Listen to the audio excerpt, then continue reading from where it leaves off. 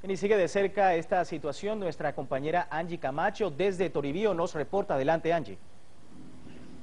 Hola Luis Francisco, mire, quiero contarle que es muy delicada la situación de orden público que se está viviendo en este momento en el Cerro de Berlín. Mire, luego de que el ejército antimotines en Colombia llegará hacia las 5 de la mañana a desalojar a las autoridades indígenas. Hasta este momento, lo que le entrega el gobernador de esta zona de Toribío a Telesur es el reporte de, de 26 heridos, 26 personas que se encuentran heridas porque el SMAT las arremetió con gases lacrimógenos, pero igualmente las golpeó con sus bastones. Mire, tres heridos por esquirlas, uno por bala de fusil, un indígena también desaparecido hasta el momento, no han podido dar con su paradero y uno que fue retenido por los miembros de la fuerza pública que se encuentran en este punto. En este momento los indígenas empiezan a subir a la zona, mire, ya no son mil como los había inicialmente en el día de ayer, se calcula que unas tres mil personas, tres mil indígenas podrían llegar a establecer lo que ellos han denominado como una especie de cerco. Ayer hacia las doce y media de la noche era impresionante los sobrevuelos en este punto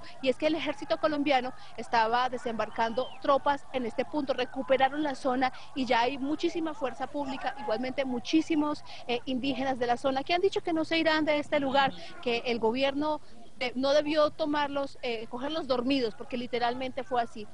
Cuando los periodistas esta mañana intentaban ascender, también fueron agredidos con, con gases lacrimógenos, porque la orden que se le ha dado a, la fuerza pública es que no permita el ascenso de más indígenas y tampoco, eh, de, por supuesto, de nadie que los pueda acompañar. Y en ese sentido, los medios de comunicación que lo acompañan fueron agredidos por ellos. La orden es no irse porque ellos han dicho, es que esto es mucho más que un acto de resistencia y de reconocimiento. Es una propuesta política que se, le, intenta dar al gobierno colombiano para que busque una salida política para la paz y este sería como un primer paso que están dando los indígenas y solamente esperaban una iniciativa del presidente Juan Manuel Santos distinta a decir que la fuerza pública no sale del sitio y distinta a decir de que los indígenas no podrían estar en esa torre de control.